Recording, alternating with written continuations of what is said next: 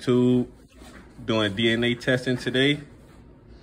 And I just want to show y'all what it looked like, kind of like what to expect. So I got it from a place called Animal Genetics. Just fill out your information.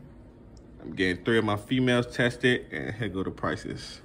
So the entire color panel, just to find out what colors they carry is 130 and then you could do the individual test $40 plus 25 for each additional test. So the ones I really need is A locus, blue, and really cream.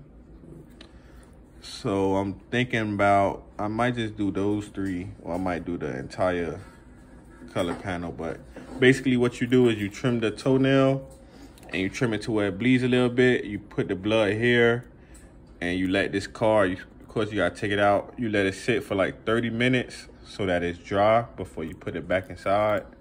That way don't build up any like mold or mildew, whatever you call it. And you send it back and they give you results back in three days.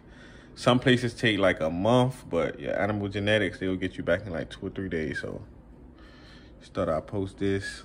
So I'll look at it again. I kind of want to know about this cocoa thing too.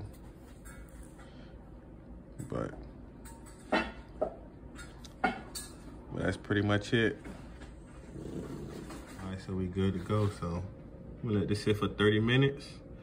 Then we'll drop it back in this sleeve and send it back off to Animal Genetics. Should have an update in three or four days.